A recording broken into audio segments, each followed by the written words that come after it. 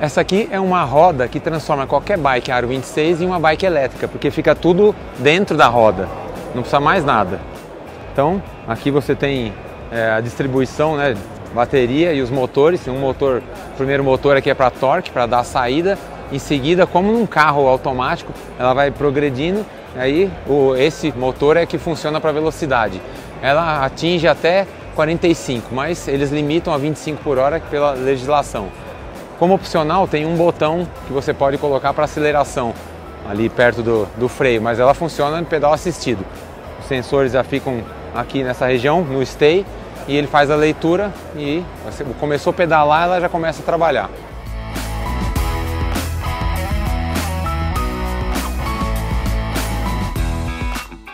Com essa bateria você roda 50 km. Ela demora cerca de 3 horas para ser carregada. Aqui tem uma capa que você abre e tem acesso ao encaixe para carregar. E pesa 6 kg. Essa roda já está à venda por 600 dólares.